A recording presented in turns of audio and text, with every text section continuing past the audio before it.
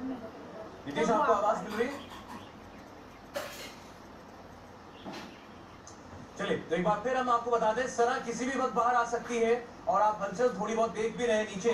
यहाँ पर अ, सभी बड़े अफसर हैं सेना के पुलिस के एनडीआरएफ के वो तमाम लोग वहाँ पर मौजूद हैं। और थोड़ी देर पहले बात करते हुए जो इलाके के एसपी उन्होंने कहा था कि चंद मिनट का वक्त और लग सकता है। उसके बाद हमने देखा उन्होंने पब्लिकली अनाउंसमेंट की सभी पुलिस वालों से कि वो ह्यूमन चेन बना लें पूरे इलाके इस पूरे वर्क एरिया के इर्द गिर्द जहाँ पर भी ऑपरेशन चल रहा है ताकि कोई बाहर का आदमी वहाँ ना आए और जब सना को बाहर निकाला जाए तो उन उस टीम के आड़े कोई आदमी ना पहुँचे या कोई लोग ना वहाँ पर हो। एंबुलेंस ठीक इसके सामने खड़ी है आप जिस ओर कैमरा देख रहे हैं इसकी ठीक उल्टी तरफ़ एंबुलेंस खड़ी है चंद कदम की दूरी पर ही। और उस एंबुलेंस में बैठे हुए सना के माता पिता। इनको भी एंबुलेंस से बैठे तकरीबन दस मिनट का वक्त हो चुका है।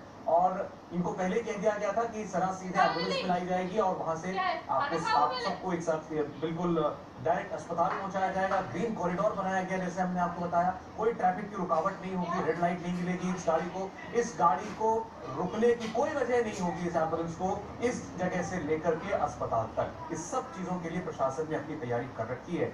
बस इंतज़ार है उस लम्हे का सना कब बाहर निकलती है, कब लोग उसको वहाँ देख पाते हैं। और देखिए, आप पहली तस्वीर जो आप स्क्रीन पर देख रहे हैं, तीस घंटे से एक यही तस्वीर है इस बच्ची की। इस बच्ची के शरीर में हरकत होने का केवल एक सबूत है। उसका हाथ चलता है, उसकी उंगलियाँ हिलती हैं, उसकी माँ जब उससे बात करती है तो वो धीमी आवाज़ में जवाब देती है।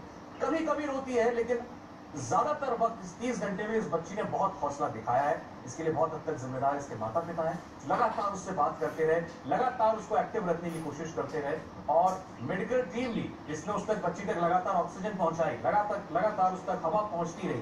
कोशिश की गई है कि इस बच्ची तक कुछ खाने के लिए, कुछ पानी भी इस तक पहुँचाया जाए, लेकिन दुर्भाग्य से बच्ची इस इस कदर फंसी हुई है कि वो अगर उस तक चॉकलेट भी पहुँची तो उसे खा नहीं पाई, पानी पहुँचाया गया तो पानी पी नहीं पाई। तीस घंटे से बिना जल है ये बच्ची। ना कुछ खाया है, ना कुछ पिया है। और अब डॉक्टर्स को चिंता लगातार यही थी कि बच्ची कहीं डिहाइड्रेट ना हो जाए। ऐसी सूरत में उसकी हालत जल्द, बहुत जल्दी खराब हो सकती है। लेकिन अभी तक ये बताया जा रहा है कि बच्ची बिल्कुल सही सलामत है। तो मुंगेर में सना को बचाने के लिए चलाए जा रहे रेस्क्यू ऑपरेशन में सबसे बड़ी राहत की बात यही है कि सना अपने माता पिता से